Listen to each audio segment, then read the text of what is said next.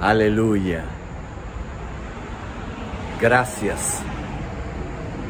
Gracias doy al Eterno, al Creador de los cielos y la tierra, por tu vida, Daniela, por tu vida. Aleluya. Que la sobreabundante gracia del Creador de los cielos y la tierra sea manifestada en la vida tuya. Se manifiesta en ti, Daniela, la mente de nuestro Mesías Yeshua. Una mente creativa, bendecida. Desde la cabeza hasta la planta de tus pies, tú disfrutas de caminar en la bendición del Señor. Sus bendiciones inagotables para ti.